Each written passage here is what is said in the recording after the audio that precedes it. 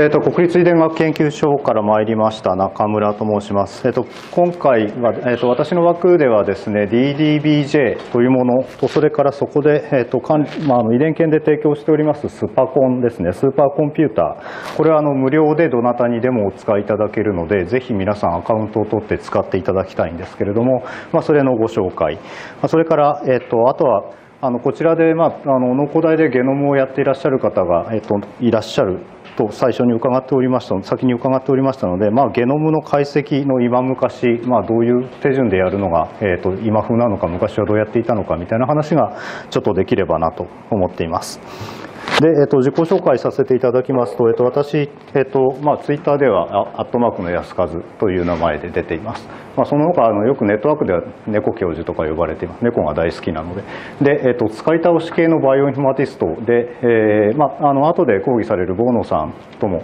昔からよくあの本を書いたりですねで、えっと、こういう講習会を一緒にやっていたりしました。で、えっとまあ、いろんなところに、まあ、特に統合 TV なんかに私の講演がいっぱいあって、まあ、お恥ずかしい感じの講演がいっぱいあります。で、えっと、キャリアとしてはですね植物とか微生物のゲノム解析をずっとやってきましたあの一番大きな仕事としてはあの高等植物で初めて全ゲノムが決まった白犬ナズナの、まあ、2000年のネイチャーに出た白犬ナズナの解析の、えーと、国際コンソーシアムの中で、えーと日本の担当分ですね、えー、と約4分の1白いナズナの4分の1の27メガを担当の解析を担当しました。でそれから、えー、と光合成細菌ですね。シアノバクテリア、まあ、あるいはあのリゾビア根粒菌根っこにつく細菌の、えー、解析をかなりたくさんやってましてそのあの国際的なセンターになっているデータベースシアノベースリゾベースというのを、えー、と今公開、えー、と維持しております。まあ、こんな感じで、えっと、完全にバイオマティクスの人なんですけど、えっと、25年前は普通に農学部の学生で実験してました。で、えっと、90年にちょうど京大の大学院にいたんですけれども、まあ、ゼニゴケのミトコンドリアゲノムというのを決めてまして、えっとまあ、ミトコンゲノム持ってるわけですね。で、えっと、人なんかですと16キロ17キロとかなのかな、えっと、20キロ以下なんですけど、まあ、植物のミトコンって結構でかいですね。で、えっと、186キロの環状ゲノムの、えっと、ゲノムを決めてました。で、えっと、今 NGS とか言って、えっと、ソリッドステートですごい勢いでシーケンスできるわけですけれども今はあ昔はですねあのいにしえのシーケンサーはまあこういう感じっていうか、まあ、普通の縦型のスラブ電気泳動ですね。で、まあ、ラジオアイソトープを使ってました。今みたいに蛍光じゃないですね。でゲル板むき出しで、えっと、3000ボルトとかかけるんですけど学生時代でアホだから早く終われとか1万ボルトかけてで、まあ、指さすと落雷するみたいなかなり怖い構成でやってました。で、えーと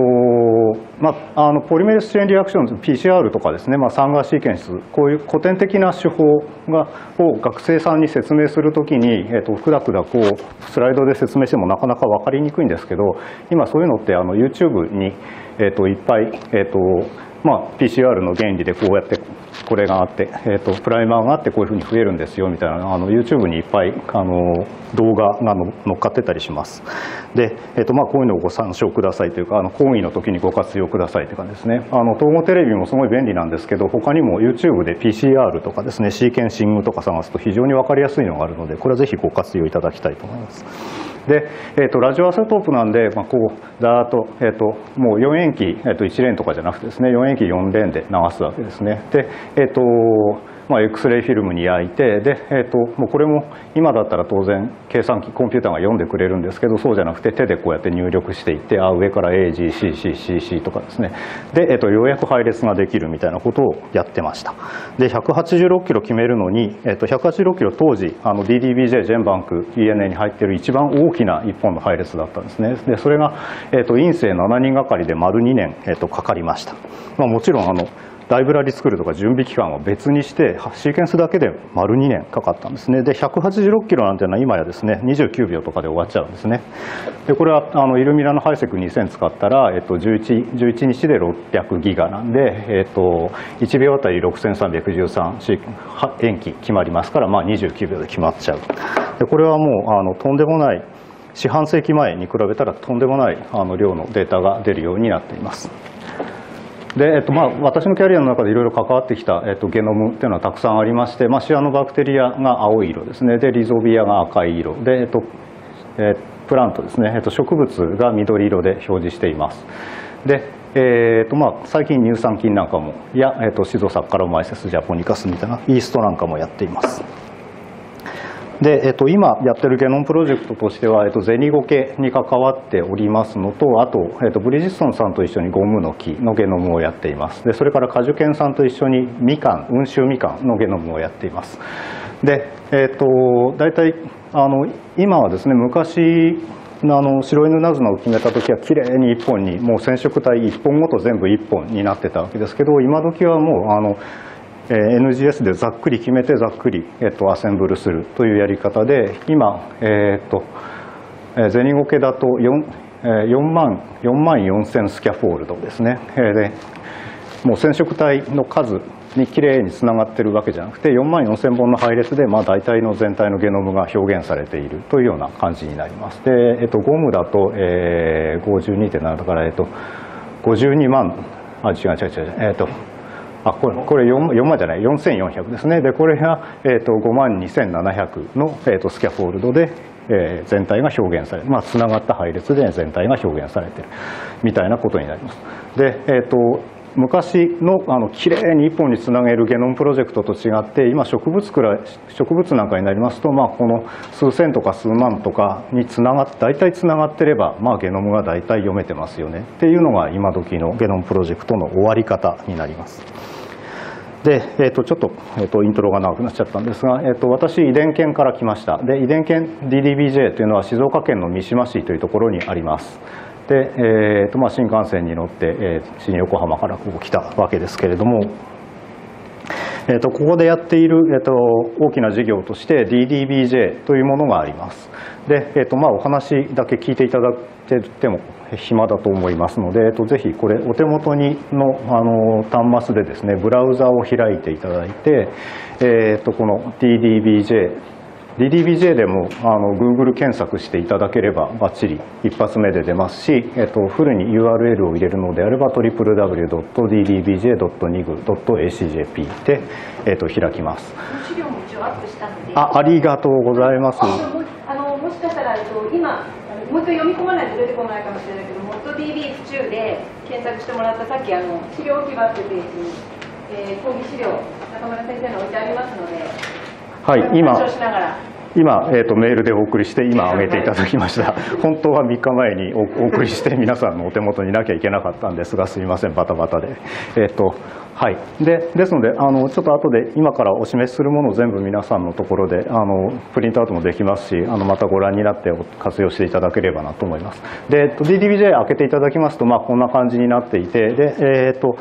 まあ、あの皆さんの延期配列を皆さんが決めたら登録していただくための登録の入り口それから、えーと、検索するための入り口ですね、まあ、例えばキーワードで、えーと、インターロイキン2の配列が知りたいみたいな時はここでキーワードサーチしていただければ大丈夫。あとブラスト検索もできます。であと後でご紹介しますけれどもスパコンを無料で提供しています。でそれからまとめてダウンロードしたいよという方にはここのアーカイブから入っていただければ、えーと見ていただけます。でまああのこの辺私が話をしている間もしお手もお手すきでしたらもうこの辺とちょこちょこ見ていただけると、まあ、どういうサービスがあるかなというのがお分かりいただけるかと思います。で、えっと、我々がやっているのは延期配列データバンクという事業です。で、えー、全世界で解読された塩基配列情報を査定して受け入れてデータベースに蓄積して公開して共有するという仕事をしています。で、えっと、今はもうこれ全部オンラインでインターネットで行くんですけれども、その昔、えっと、事業を始めた30年ぐらい前は、あの、あのキュレーターと呼ばれる人たちが論文ですね、まあ、ジャーナルの論文を見てそこに書いてある配列を手打ちで登録してで、えー、とデータベースに入れて、まあ、当然インターネットもまだあのないので、えー、とテープで、えー、と世界中の研究者に配布していたというところからスタートしています。今はこれ全部オンラインでいっています。で大事なのはこの査定して受け入れるというところですね。何でもかんでも受け入れちゃったら再利用性が非常に低くなるので、えー、15人のキュレーター、まあ、アノテースターさんがいるんですけれども、えーと、その人たちのうち、えー、と半分ですね8人は、えー、とドクターを持った PhD 生物系の PhD を持った人がちゃんと生物学者の目で見てで、えー、とそこに書いてある種が正しいかとかですねそこに書いてある遺伝子が本当にちゃんと頭からお尻まであるのかフレームずれてないかとかですね、まあ、そういうのをきちんとな眺めて受け入れてで、えー、とデータベースに蓄積しています。でこれはさっきのトップページのところにも絵がありましたけれどもこれ国際塩基配列データベース INSDC ですね、えーと、インターナショナルニュークリオタイドシーケンスデータベースコラボレーションの一員として、えーと、やっておりまして、えーと、よく有名なのがジェンバンク。NCBI アメリカのジェンバンクというのが、えーとまあ、一番たくさん受け入れてますし有名です。ただ、えーとまあ、ジェンバンク使ったよってあのおっしゃってる方も実は DDBJ の配列使ってたり ENA の配列使ってる方も多いです。まあ、あのジェンバックが代表みたいな感じになってますね。で、えーと、欧州はヨーロピアン・ニュークリオタイド・アーカイブというところがやっておりまして日本の DDBJ がこれあの世界中の配列をどこに登録しても、えー、23日のうちにあの完全にシンクロされて、えーとそれぞれが単一の大きな INSDC というデータベースを作っています。で関わってる人が、えー、と全部これリリースノートから引っこ抜いてくると,、えー、と139人の人が、えー、と関わっています。で、まあ、あの世界で一番古くて一番大きくて多分一番認識されている生物系のデータベースだろうと思います。でどういう配列が入ってるかっていうと、まあ、やっぱり人ですね。人なんで自分自身を知りたいということがあって人の配列がいっぱい入ってます。でそれから人をターゲットとしたモデル生物としてマウスそれからラットが、えー、とそれに数が続いてあこれ数が多いほど大きい字で表示するっていう表現方法なんですけれどもでそれから最近多いのが、まあ、ここのえーと、の古代でもこうターゲットにされてる方多いと思うんですけどあの、まあ、産業的に重要な生物ですね。牛。であるとか豚であるとかトウモロコシみたいな配列がたくさん登録されるようになってきました。で、えっと、この生物種を管理しているデータベースがこの NCBI タクソノミーというのがありましてあの塩基配列に紐づいた配列が今30万種あります。でこれはあの NCBI タクソノミーで Google 検索していただけると,、えっとすぐに出てくると思いますがこれ非常に便利なデータベースで、えっとここから例えば、えっとフェリス・カータスですね、えー、猫。の学名で引いてみますと,、えー、と猫の、まあ、リニエージが出てきてでそれから、えー、とその猫の塩基配列決まってる塩基配列が5万3440ありますよとかですね。でタンパク質は3000あ3万3万1400ありますよとかですね。でゲノムプロジェクトへのリンクであるとか。で、えー、とここは、えー、とパブメドはあれですね論文へのリンクとかですね。こういうものがざらっと出てきまして、えー、と生物ある生物について知りたい場合にはこの NCBI タクソノミを使っていただけると非常に便利な中心的なデータベースになっています。で、えーとまあ、で戻りますと DDBJ ではまあ登録それから、えーと、登録された、えー、塩基の配列解析それからスパコンと、えー、だまとめてダウンロードしていただくようなサービスを提供しております。で、えーと、目下生物学の情報が爆発しておりまして、まあ、例えばヒューマンだと,、えーと、1000ゲノムですね、えーと、1000人分まとめて決めちゃえ、まあ、さらにその先にもう今は言ってるわけですけれども。で白犬ナズナとかですと、まあ、ちょっとそれに1を足した1001ゲノムみたいな1001系統の白犬ナズナ全部決めちゃえとかですね。えそああるいは環境のシーケンシングですねメタゲノムという名前で呼ばれてますけど特定の環境からサンプリングした生物層の DNA を全部解析しちゃうというようなことができるようになっています。で、えーと、現在進行中の配列決定プロジェクトを知りたければこのゴールドというページに行っていただくのがとっても便利です。で、えーとまあ、皆さんの端末からでもですね、えーとゴールドはゲゲ、えー、となんだろうゲノムゴールドゲノムゴールドとかで Google 検索していただければ一発目一発で出てくると思いますけれどもアメリカの JGI というところが提供しておりましてえとさすがにみんなでやっと開くと遅いですがえっ、ー、とあこれ 解像度低いからすごい見にくいな。えーと、見ていただきますと,、えーとまあ、このメタゲノムですね、えーと、環境とかあるいは人の腸内からごっそり取ってきた、えーと、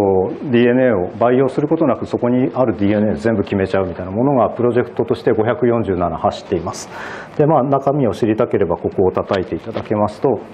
えー、とこういうプロジェクトがありますよみたいなのがあるわけですね。でえーとまあ、例えばえー、とホットスプリング温泉の温泉からごっそり取ってきた、えー、と微生物菌層のゲノム全部決めちゃうとかですねイエローストーンとかですね。でマウスの、えー、とガットの中に入っているマウスのガットから取ってきた、えー、と生物菌層全部決めちゃいますよみたいな。こういったプロプログラムがいっぱい走ってるわけです、まあ、ここのゴールドから見ていただくと、えー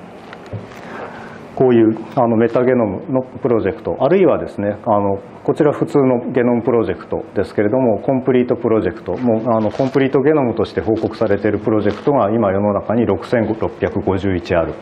といったことが分かります。で、まあ、ここを開いていただく、まあ、6651の大半はあの微生物ですけれども、えっと、神格のプロジェクトであるとかもここからアクセスしていただくことができます。でえー、っとあとはあのインコンプリートプロジェクトですね。まだあの走ってるプロジェクト、まあ、それから、えー、とこのパーマネントドラフトっていうのは、えー、ともうコンプリートすることなくですね。ドラフトゲノムざっくり読んで、えー、で、えー、と終わっちゃってる。つな,、まあ、つつなげていくっていう努力をしなくてざっくり読んで、まあ、大体あのゲノムが決まりましたよっていうドラフトゲノムというプロジェクトですけどもそういうものが2万3000あるみたいなことが分かります。でこのゴールドはあのこういうプロジェクト探すときにとっても便利ですのでぜひ覚えていただきたいと思います。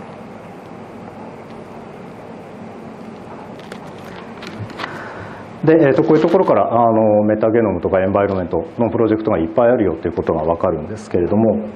えー、こういうことができるようになったのはなぜかっていうと当然あの NGS のおかげです。で NGS っていうのはあのネクストジェネレーションシーケンサーとの略でして次世代型シーケンサーというですねイルミナとかそういうものです。で、えー、とずっとあの NGS、NGS 呼ばれているんですが全然これ次世代じゃなくてもう何年もこれ使われているあのシーケンサーでもうネクストでもなかろうっていうんで私はニュージェネレーションシーケンサー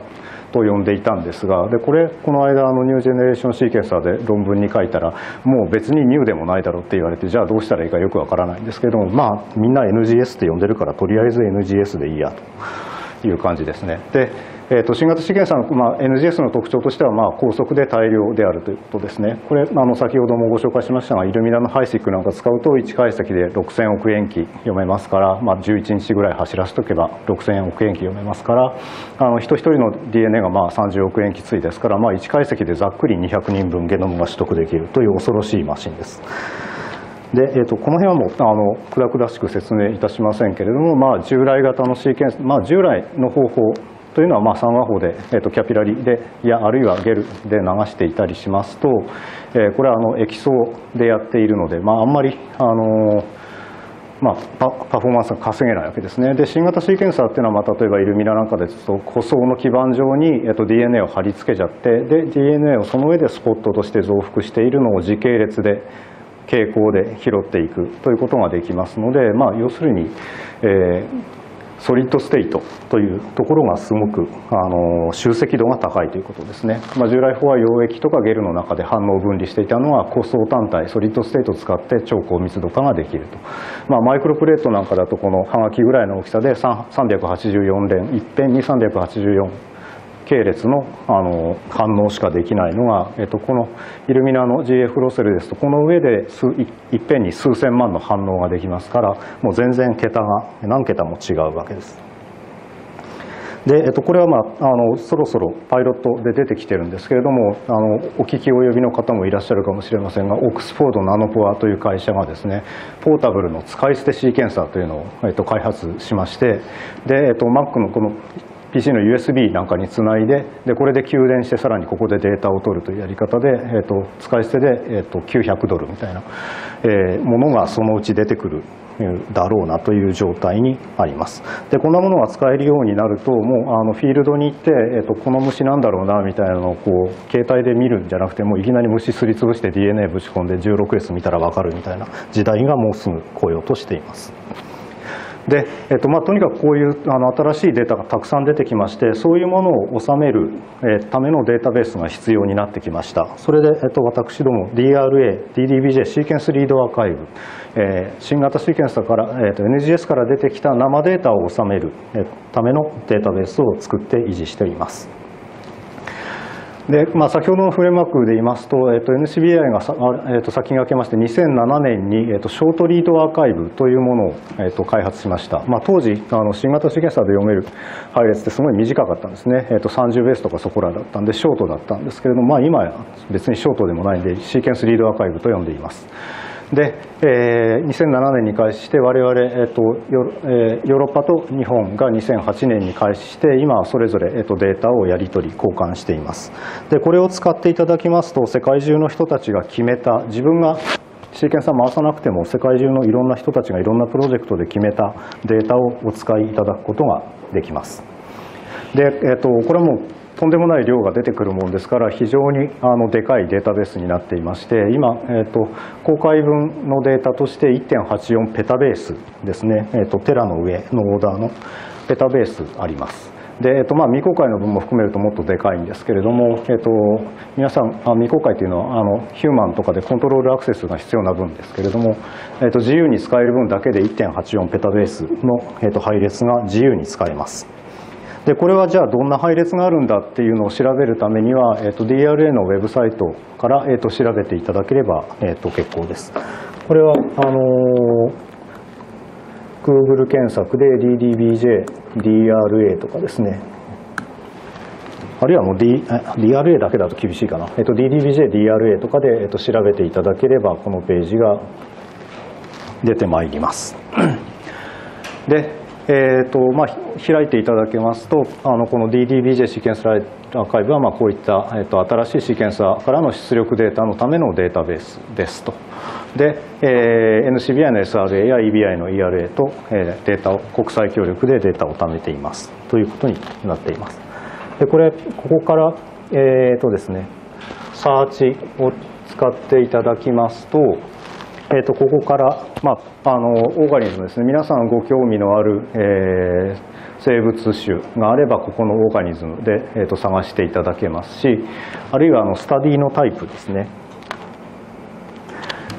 えーまあ、例えばエピジェネティクスで取られたデータであるとエクソームのデータが欲しいとかメタゲノ先ほどのメタゲノムのデータが欲しいとか RNA-seq が欲しいとかで、えーと絞り込むこともできますしあるいはプラットフォームですね。えーまあ、イルミナで決められたものだとか454で決められたものをもうナノコアがありますね。があったり、えー、とします。で、えーまあ、ここから、えー、と例えば、まあ、例えばオーガニズムでアラビドプシスとかですね。アラビドプシアラビアラビあたりまで入れておきますと,、えー、と出てきますけれども、えー、なんでサリアナがない？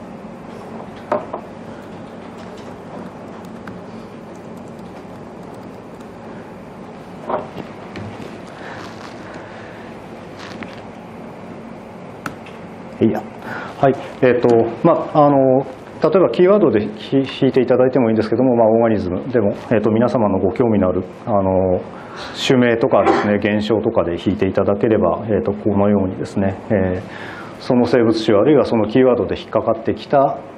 えー、NGS のデータのアーカイブというものがご覧いただけます、まあ、ご覧いただくだけじゃなくて当然あの落としてくることもできるんですけれども、まあ、あのデータとしては非常にでかいので、えっと、今ちょっとここで落として何かやってみましょうというわけにはいかないんですけれどもこれあのご興味のある現象あるいは生物種がありましたらぜひこれ引いてみてください。でこれで辿っていきますとはこれ何にもディテールが書いてないな。えーとよいしょうん。あエクスペリメント見ないとダメか？そうですね。あの辿っていってそのその中のメタデータというのが収められているところですね、えーと、エクスペリメントとかランとか、えーと、開いてみますとそこにこれどういうどういう実験条件でどういうふうに集めたデータだよみたいなことが、えーと事細かに書いてあるのもあればざっくりしか書いてないのもあります。でえーまあ、こういうところからサーチしていただけると新型シーケンサーのデータというのは、えー、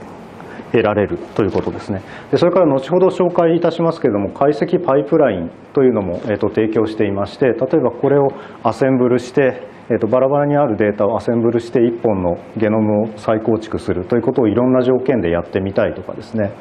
えー、あるいはマッピングですね、えーと、リファレンスのシーケンスの上に、えー、と似たところに RNA のシーケンスなんかを貼り付けてあげてどこが発現しているかを見たいといった、まあ、よくやる定型的な処理は、えー、とここからあのポチポチと、えー、ウェブウェブサイトを叩くだけでできるようにしてありますでこれは後ほどご紹介しますけれども、まあ、こういったものも提供していますのでここから、えー、とデータを取ってきて、えー、と自分で、えー、と解析するということが、えー、と無料で簡単にできるように提供していますでこれはもうやっちゃったんですがその DRS サーチサーチの、えー、とプラットフォームから検索していただきますとあの検索で絞り込むことができて、まあ、ダウンロードして、えー、お使いいただいたり先ほどのパイプラインで計算することができます。まあ、こんな感じにあの NGS から大量のデータが出てきますので、えー、とそれを処理するためにはあまああのちょこちょこであれば手元の計算機でもできるんですけれども本当に大量のデータを処理するためにはスーパーコンピューターみたいなものを使わないと,、えー、と厳しい時代になってきています。ということで、えー、とスーパーコンピューターを提供しています。で、えっと、これ先ほどのあの DDBJ のページからあのこのスパコンのアイコンをたどっていただきますとスパコンの詳細が出てまいります。まあ、あるいはですね、えーと、Google 検索で DDBJ スパコンでも出てきます。DDBJ スパコンあたりで検索していただきますと,、えーとこの、えーと、国立遺伝学研究所スーパーコンピューターシステムというのが出てきまして、えー、とこんなページです。これ先ほどのあの DDBJ のページからスパコンのアイコンを叩いても同じページに行きます。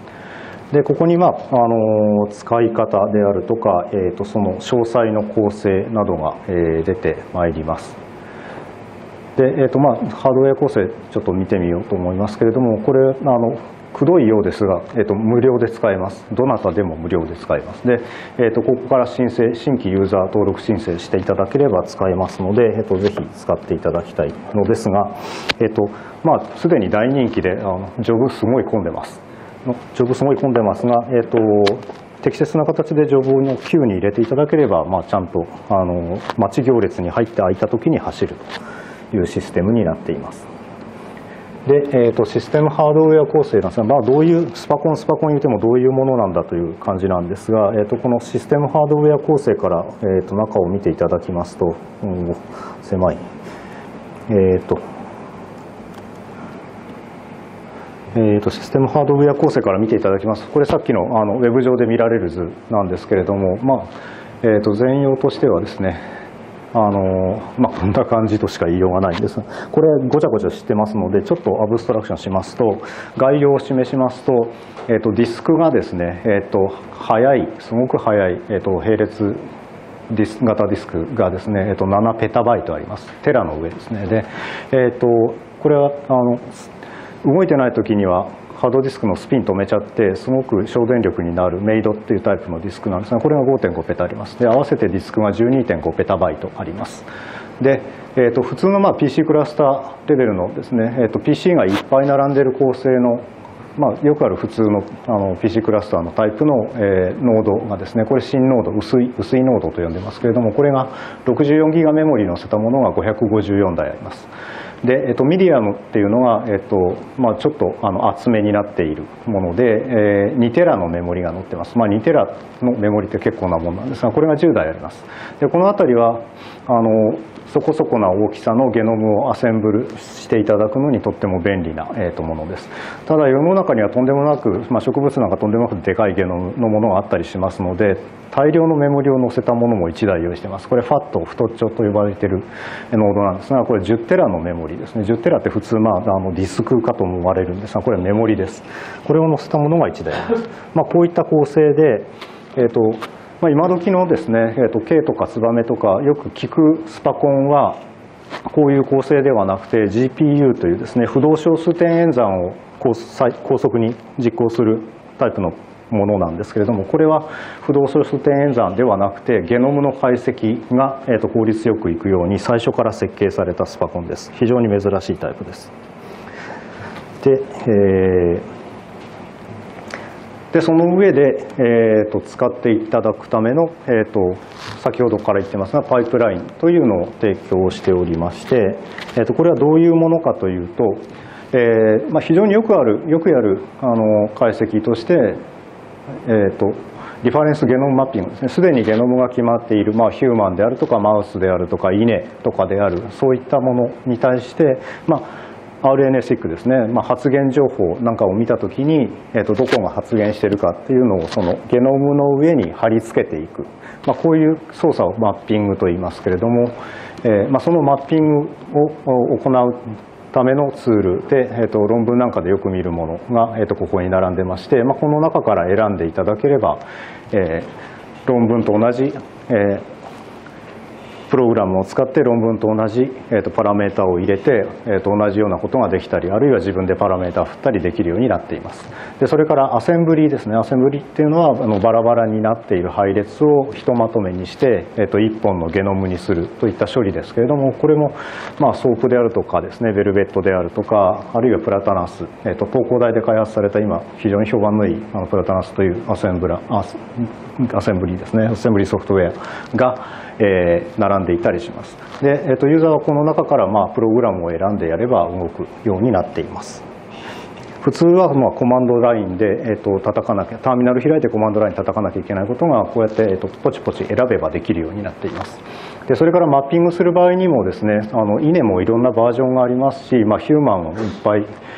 バージョンがいろいろあるわけですね。NCBI のいろいろなバージョン、まあ、稲であれば IRGSP の今 1, 1点いくつかな。で昔のタイガーの、えーと、バージョンなんかをお使いの方もいらっしゃいますし、まあ、そういったゲノムのバージョンを揃えなきゃいけないんですけどいろんなバージョンをここに揃えて、えーと、用意しています。で、えーとメジャーなゲノムセットとしてはアラビドプシス、イネですね、まあ、ジャポニカ、インディカ、それからチーメ、えーと、トウモロコシであるとかソルガム、ホモ・サピエンス、マウス、えー、パン、えーとシーエレガンス、ゼノパス、えーと、リザスはこれなんだっけ、メダカか。で、えー、そういったものが、えーと、用意されています。で、まあ、これはメジャーなセットなんですが、まあ、こう自分のあの解析しているものがメジャーじゃない場合で、たまたまどこかにドラフトゲノムがあるみたいな場合は、それをアップロードして使っていただくことももちろんできます。で、えーと、このパイプラインをですね、えーと、今回ちょっと,、えーと体験していただこうと思います。で、えっと、この、まあ、先ほどの TDBJ の DRA のページから、まあ、パイプラインを叩いていただくか、えっと、あるいはこの PDDBJ2GACJP を開いてみてください。あるいは、えっと、DDBJ パイプラインで Google 検索しても出てくるはずです。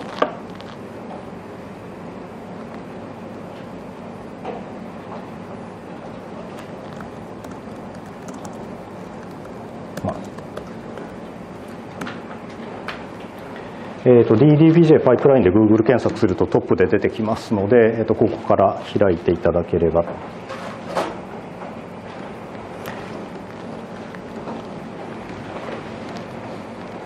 で、えーと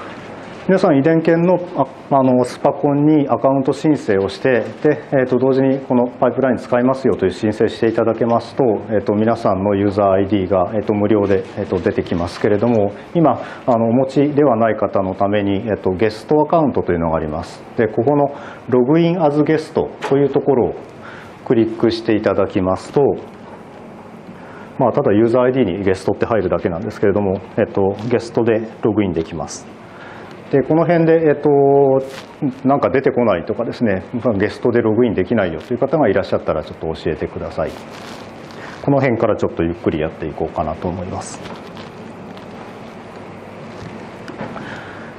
で、えっと、ここがまあ入り口なんですね。で、えっと、今あのデフォルトで開いているのはこれプライベート DRA エントリーというところタブが開いていましてでこれはあのこのユーザーさんがすでにアップロードしてあるあのデータのエントリーがここに一覧として出てくるようになっています。ここですね。えーとまあ、ゲストアカウントでいろいろ講習してるんでいろいろ乗っかってるんですが、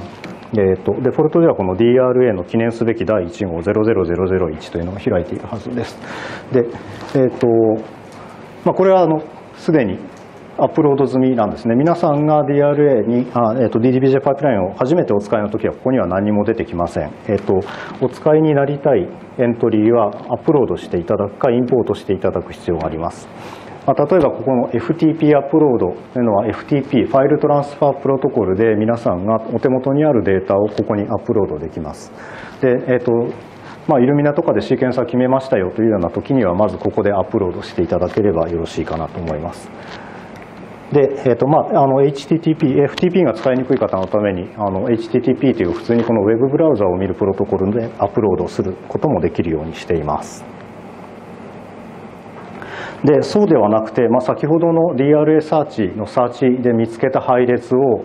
えー、自分のところにダウンロードしてきてここにアップロードするみたいなのがかったるいんでどうせ、えあの DDBJ の中で走ってるんだから DDBJ の中で渡してくださいよっていう時にはこのインポートパブリック DRA というのを選んでいただいてここに先ほどのアクセッションナンバーですね、えー、と DR DR なんとか00001みたいなのを入れていただければこの中で、えっと、DDBJ の中でここへインポートします、まあ、あの自分で決めたものではなくて探してきた配列を、えっと、これに載せたい場合にはここを使っていただくのが一番便利かなと思います。で、えっとまあ、例えば先ほどのですね DRA00001 っていうのはこれはあの慶応で決められた納豆ですね、えー納豆菌のゲノムの配列プロジェクトのデータなんですけれども、えー、とこれがこれを使いたいなというのが分かっていてで、えー、ここに、まあ、それが DRA00001 だっていうのが分かりましたらですね例の数が1個多いかも、えーとここにそのアクセションナンバー入れていただいてここに Add My DR エントリーというのを押していただけるとまあ数分するとインポートします。あでも今あもうすでにインポートされてますからやらないでください。みんなが入れるとまた増えちゃう。えっ、ー、とここを押していただければインポートされます。でももうこれは実はもうやってやってインポートされています。で、えー、とインポートしてあげるとここにあのセレクトメタデータというところですね。ここを選ぶとこの中かこの中にインポートしたデータの一覧がざーっと出てきます。で、まあ、あのパブリック DRA からインポートしましたよという、まあ、気になっていただいてですねでこのプライベート DRA エントリー今インポートしましたよというつもりになっているこの配列を扱ってみたいと思います。まあ、これはあのホールゲノムシーケンシングオブバチルスサティルス、えー、サブスピシーズ納豆ですね。BST195 の配列をあの初期のイルミナで決めたもので、えっと、リードレングスが36って短いんですけれどもこれちょっと気にしないでください、まあ、ちょっと昔のデータですね。今は150とかもっと読めますけど。で、えー、とじゃあこれ使いますよ、まあ、ここで、えー、とそのナンバーを選んでいただいて自分がアップロードしたものを選んでいただくと,、えー、とこういう感じでその情報が出ましてですね。で、えー、とここからプロセスに入ります。でこれ複数の配列がこの1個のあのアクセッションにバンドルされている場合ここにいっぱい配列が出てくるんですがこれはあの1つの1種類の配列1種類の欄が含まれていますので、えっと、これだけ選んであげればいいです。でこのえー、とここですね。ここをクリックしていただいて、えーとみえー、と左端ですね、えー、と一番下に出ている DRX00001 の、えー、と左側をクリックしていただくとここが黄色に反転しますので、まあ、これを使いますよという意味です、まあ、これ複数ある場合はそのうちのどれを使うかっていうセレクションなんですけどここは1種類しかないんでこれ選んでいただいてで、えー、NEXT を押しますよろしいでしょうか、えっと、取り残されると非常に寂しいので、えっと、遠慮なく困ったら手を挙げてください。で、えっと、そうするとあの先ほどのですねどういうプログラム使いますかっていうのが出てきます。で、えっと、これは今はそのすでに決まってるゲノムの配列にマップするマッピングという処理ではなくてですねあのアセンブリーです。 de novo のアセンブリーの処理なのでこの下の方を見ていただきますと、えーまあ、よく聞くアセンブリーのソフトウェアソープデノボアビスベルベットトリニティプラタナス H ギャップみたいなものがあります。H ギャップはまあパックバイを使う場合よく使いますね。でえーと、これはあの昔よく昔というか、まあ、今も使われてますけれどもあのよく微生物のゲノムをアセンブルするのに使われていたベルベット使われているベルベットというやつでちょっとやってみましょう。なんですがあそうだ、えっ、と、まずそのこれが、えっ、ととマッピングなのかアセンブリなのかというのを選んでいただく必要があります。で、えっと、ここのデノボアセンブリデノボアセンブリというところをクリックしてください。これはマッピングじゃなくてアセンブルなんだよということを教えてあげます。そうするとその下の、えっと、ソフトウェアが選べるようになりますので、えっと、ベルベットを押してあげるとここは黄色に反転します。よろしいでしょうか？はい。そうするとこれは、えーと、今さっき投入した配列を使ってアセンブリするよということになります。で、えーと、NEXT に行っていただいてでそうするとその中の、えーと、配列の構成がどうなってますかっていうのをここで指定します。あのまあ、これ、えーと、ペアエンドといってですね、まあ、あの DNA の端っこと端っこをこうペアで、えー、と束ねたタイプのデータになりますので、えー、とあ違うわ。まず選ばなきゃいけないですね、えーと、配列を選んであげます、えーと、この DRR000001 の左にあるボックスを選んでください、まあ、この配列を使いますで、えーとまあ、ここもあの複数セットある場合にはここに複数出てくるんですけれども、まあ、ここは1個しかないので。で、えーとえーと、メイトペアとペアエンドっていうのがありますが、えーと、ここペアエンドというやつです、えーと、メイトペアというのはもっと遠距離ですね。な5キロとか8キロとかすごく遠いところのペアを読みたいときに使うやつです。がここはあのペアエンドというやつです。でセットアズペアエンドを押していただきますと、まあ、ちょっと一瞬ちらっとしてちょっと画面が変わったのが分かると思います。でえーと、クエリのセットとしてはこれでいいですかって、まあ、ここはただあの確認しているだけなんですね、えー、そうすると,、えーと、そうしましたら NEXT というボタンが出てきますので右下の NEXT のボタンを押してみてください。で次は、えーとセッティングをどうするかパラメータをどうするかオプションをどうするかというページですね。でここはもうあのデフォルトのあの標準で書けるようなパラメータはすでに入っています。ただまあ論文見たりあるいはちょっとパラメータ振ってみたいなっていうような時に、えー、とここで、えー、とパラメータを振ることができますので、えー、と論文で見たものを入れてみたりですね、えー、とここはもうちょっと変えてみた方がいいんちゃうかみたいなのは、えー、とやってみて。ください、まあ、ここはあの特に気にならなければそのまま次に行っちゃっていただいて結構です。この、えー、と右下の NEXT を押していただきますと,、えー、とこれはもう最後のページです。で、えー、と先ほど選んだ納豆菌の whole genome 全ゲノムシーケンスを、えー、 Velvet で標準パラメータでかけますよという run の confirmation ですね。で、えー、とここはあの最後は処理が処理はまあそう目の前では終わりませんので、えー、と数分からあるいは数時間あるいは数日かかるかもしれません。ので処理が終わったらここのメールアドレスにメールくださいねというアドレスを入れてあげると、えっと、これゲストさんじゃない場合にはここに LAN っていうあのボタンが出てきます。でもうそれ LAN をしたらあとはしまいです、えっと、あとは、えっと、スパコンが、えっと、混んでない時間に、えっと、その処理が入って、えっと、処理が終わります。でえっとそしてあのそうしましたら終わったらあのこのメールアドレスに、えー、と連絡が終わりましたよという連絡が来ますのでこのジョブステータスのこの、えー、とデノボアセンブリーのところですね。マッピングの場合はこっちに出ますけどデノボアセンブリーのところを開いていただきますと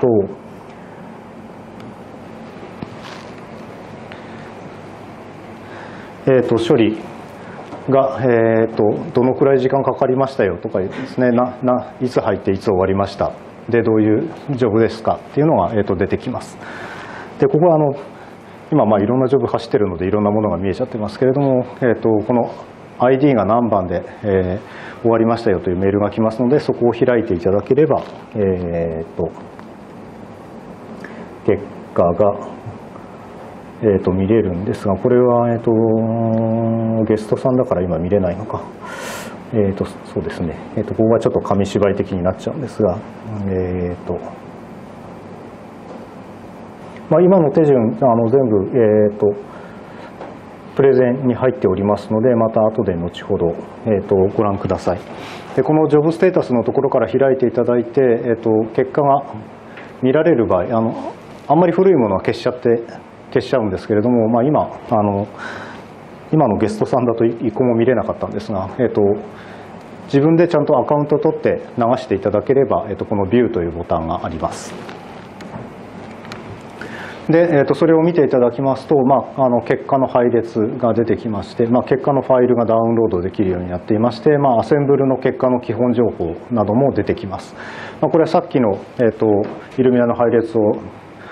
ベルベットを使ってアセンブルしたら5300のコンティグですね。5300本の配列にまとまりましたよと。で、えーと、トータルの、えーと、コンティグの、えー、サイズですね、えーと、全体のつながった長さが、えー、と4.1メガであると。で、えー、と一番長いつながりが、えー、と49キロの、えー、と配列ができています。これまあ30ベースかそこらのイルミナの初期の配列から束ねたにしてはなかなか立派な成績だと思います。で、えーまあ、こういったあのアセンブルの結果の基本情報と、まあ、それからアセンブルの結果のダウンロードができますので、えーとまあ、配列のアセンブルであるとかマッピングであるとかそういったこともことが、えー、と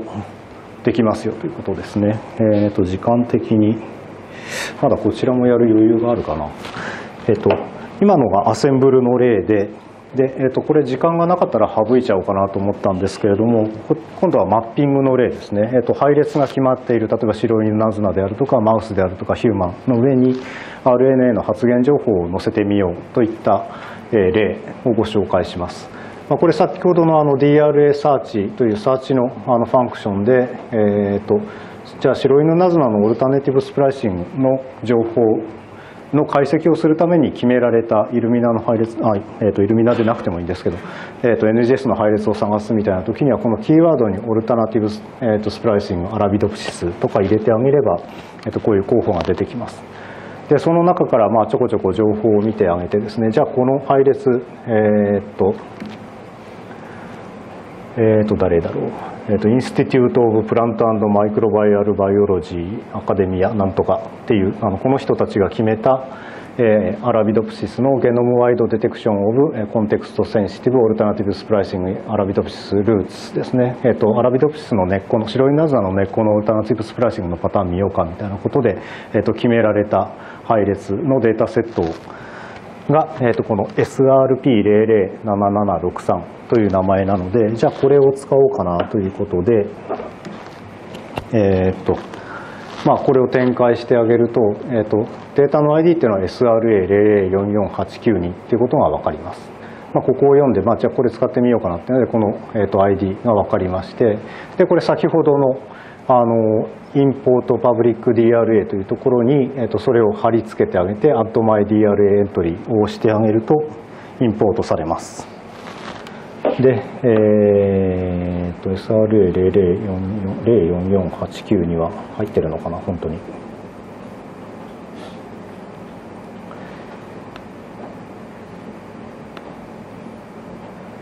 えー、とちょっとトップに戻って、D えー、と DRA から、あ、いいや、もう、えっ、ー、と、トップに戻っちゃったんで、ちょっとまた DDBJ パイプラインからいきますね。えっーと、DDBJ パイプラインの、えーと、トップに戻っちゃってですね、まあ、ここのところはうまくいってないですね、えーと、すぐ次の仕事に移れるようにできていない。で、えー、とまたログインアズゲストしていただいてログインしまして、えー、とさっきのアラビドプシスのデータが、えー、となんだっけ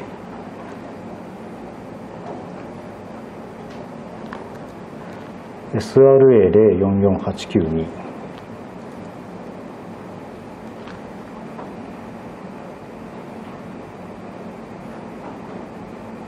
れですね、えーと、ゲストで入っていただきますもうなんかいっぱいロードされちゃってるんですけれどもこのさっきのアラビドプシスの、えーと、ルートのオルタナティブスプライシングのパターン見ましたよっていう公開配列の SRA044892 っていうのが、えーと、このさっきのインポートパブリック DRA からインポートしたものがあります。で、えー、とインポートするとこのプライベート DRA エントリーに入っていますのでこれを選んでいただければ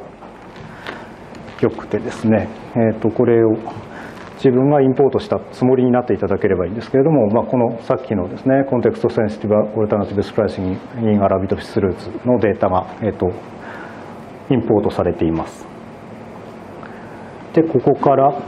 まあ、あの基本的な操作は同じです。あの配列を選んでいただいてですねこれはさっきと違って配列が2セットありますので、えっとまあ、どっちかあるいは、まあ、あの2セットを選んでいただいて NEXT に行っていただく。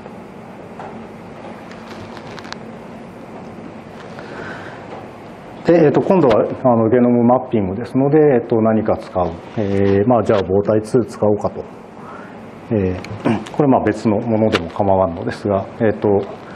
選んであげてソフトウェアを選んであげて、えー、NEXT に行きまして、まあ、先ほどのこれはあのペアになっていないのでシングルのエンドなんでもうあのちょいちょいと選んであとコンファームしてあげれば NEXT に行けます。でえー、と NEXT に行きますとじゃあ、えー、とさっきとここが違うのは、えー、とどういうゲノムにマッピングしますかと聞いてきます。でこれオーガニズムは今アラビドプシスになっておりますので、えーまあ、当然アラビドプシスのあの RNA-seq ですから当然アラビドプシスにマッピングするんですけれどもあの、まあ、別のものを選ぶことができたり、まあ、あの稲の RNA-seq 持ってきたら、まあ、当然稲を選ぶわけですけれども、まあ、ここはアラビドプシスで。でそのゲノムのセットとしましては、えー、とアラビドプシスは今ティアテアの890がありますねで、えー、とちょっと昔のデータで昔のゲノムに対して、えー、とマッピングした結果と比較したいみたいな場合は昔のゲノムを使わなければならないわけですが、まあ、ここはとりあえず最新を選んでおきましてで、えー、と AllFA というのは全ての、えーゲノムに対して、えー、とそのマッピングの処理をします。もうターゲットになっているクロモソームが決まっている場合には、えー、とクロモソームを絞ってあげた方が早く終わりますので、まあ、例えば自分が1番見てるとか3番見てるというような時には、えー、とそこを選んであげれば良いです。で、えー、と C はこれはクロロプラストで M はミトコンドリアですね、えー、とその辺にオルガネラにマッピングしたい時は、えー、とこちらを選んでいただければ結構です。で全部選びたい時にはもうこのオールを選んでいただければよくて、えー、とこれはあのアップロードしたあるいはインポートした配列がアラビドプシスみたいや、えー、とマウスみたいなメジャーなゲノムセットではなくてあのご自身の、えー、決めているドラフトゲノムみたいなものがあってそれにマッピングしたいんだっていう場合にはここからアップロードしていただければ、えー、とお使いになれます。今はこれアラビドプシスの、えー、とファイルを使いましてでここはさっきと同じでオプションをどうしますかって聞いてくるとこですね。でここも特に変更の必要がなければそのまま NEXT に行っちゃいます。でこれがあの最後のカンファメーションのページになります。あのこの、えーと、終わったらお知らせするメールアドレスを入れていただければここに欄ボタンが出てきますので、えーと、押していただければ、えーと、マッピングが、えー、終わったらメールが来る。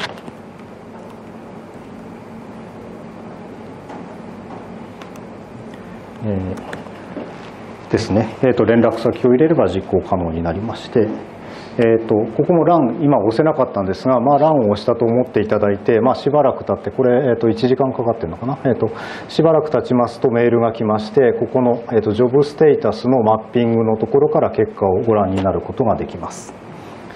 で今これあのゲゲストのアカウントには今何も入ってなくて申し訳ないですがご自身でやられればこのような実行結果が出てきまして結果がダウンロードされまして、えーとまあ、例えばカバレージが25で、えー、とデプスが12で、えー、とマッピングできましたみたいな結果が、えー、と得られます。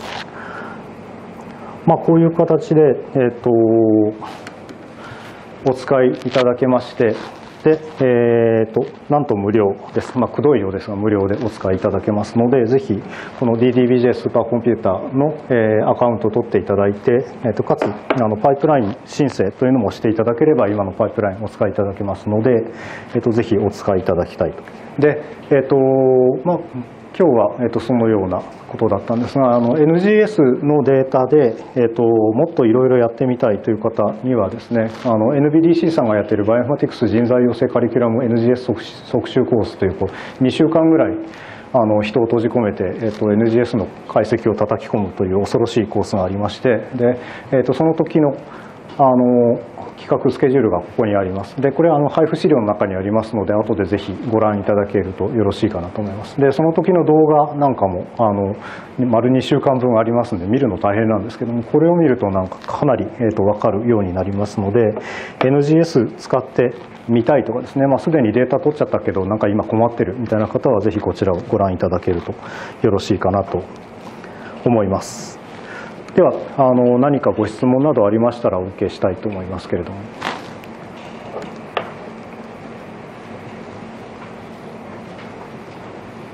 よろしいでしょうか？はい、じゃあちょっと早めだったんですが、はい、これ見て。それでは中村さんありがとうございました。